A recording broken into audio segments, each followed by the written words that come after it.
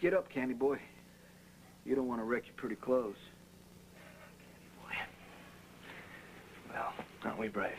Now that someone else is here to do the fighting for you. First of all, I have no quarrel with you.